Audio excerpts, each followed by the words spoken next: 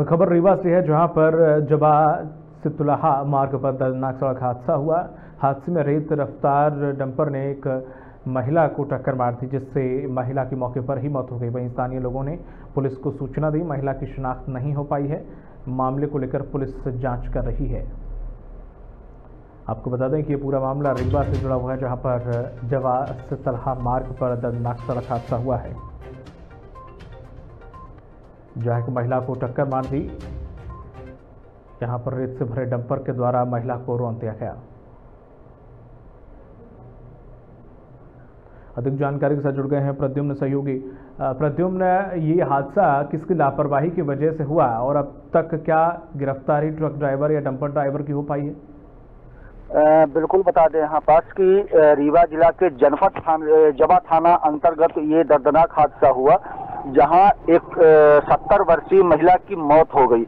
और हादसा इतना दर्दनाक था कि लोगों की रूह काँप गई है। और बताया तो ये भी जा रहा है कि ओवरलोड बालू का परिवहन कर रहा था हाईवा चालक।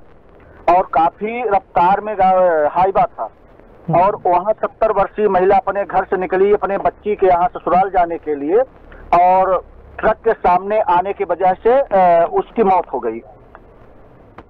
अब तक ट्रक ड्राइवर की गिरफ्तारी हो पाई है या ट्रक मालिक का पता चल पाया है बिल्कुल यहाँ पे बताना चाहूँगा कि अब तक ट्रक मालिक की अभी जानकारी नहीं चल पाई है जो कि पुलिस जाँच कर रही है जानकारी जुटाने की कोशिश कर रही है हम्म। और यहाँ पास मैं बिल्कुल आपको बता दूँ कि यह लापरवाही ट्रक चालक की है हम्म।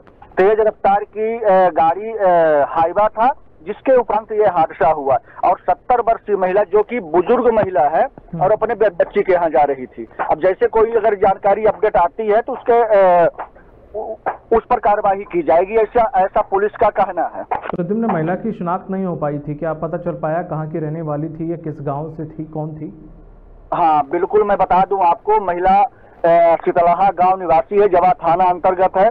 जानकारी जो जानकारी ग्रामीणों के द्वारा बताई गई है हम्म। तो स्थानीय निवासी महिला है जो कि सत्तर वर्षीय थी अपने बच्ची के यहाँ जा रही थी ससुराल।